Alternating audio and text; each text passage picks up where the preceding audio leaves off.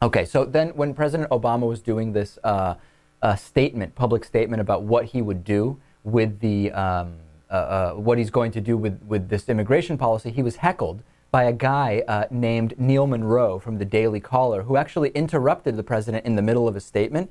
We can't really hear Neil in this, but you'll see the president get kind of visibly irritated. Later on, Neil Munro claimed that he thought the president was done speaking. Let's see if we can find any evidence that any reasonable person would think President Obama had finished his statement here. Relief and hope to talented, driven, patriotic young people. It is the, it is the right thing to do. Excuse me, sir. I, I, it's not time for questions, sir. I, not while I'm speaking.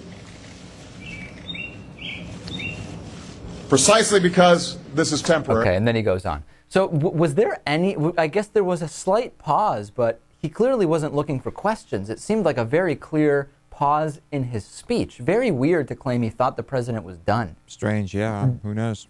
Now, then, editor in chief Tucker Carlson from the Daily Caller said he likes this. He's proud of this guy for doing this. Would you be proud of him for doing this? It just seems kind of rude. It, it is a little weird. Yeah. If you're going to do the heckling, at least make it funny, like Benjy Bronk when Anthony Weiner did his press conference, right? We have some audio of that. This was is the way to properly interrupt a press conference.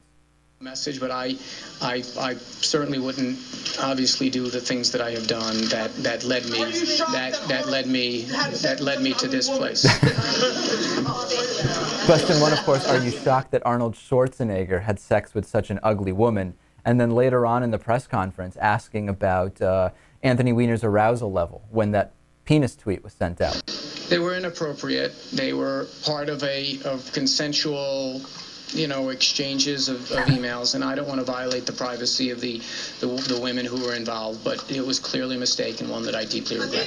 Thank you. Were you fully erect? What made you decide? Were you fully erect or you? Anthony Weiner uh, taking any and all questions. All right, that is the way that you interrupt a press conference in a reasonable way, or even better, this is a new one. This is from over the weekend, talking to uh, Webb Simpson, who won uh, some. Is it the U.S. Open? Is it the Masters? I apologize. I don't follow golf. He won some kind of golf tournament, and Bob Costas interviewing him, and in comes a guy who decides to do some bird calls right in front of the camera. This is a much better way to interrupt a press conference than yelling out a question off microphone about immigration. on the weekend, and a burst of three straight birdies and four in a five-hole stretch turned it around for you today.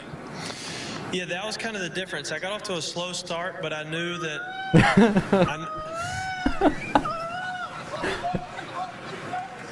I, I, I knew. Always something to spice matters up. I love that. And for people who are watching, you would think that that's security who came in and grabbed them. I guess it's like the president of the PGA. Now, let's just watch that one more time, Lewis. This guy just diving in and grabbing them right out of there. Yeah, that was kind of the difference. I got off to a slow start, but I knew that. I, Okay. Ladies and gentlemen, if you are the Daily Caller, if you are Tucker Carlson, that's the way to interrupt a press conference, not with a question nobody can hear about immigration. Please get it together. Just okay. make it funny.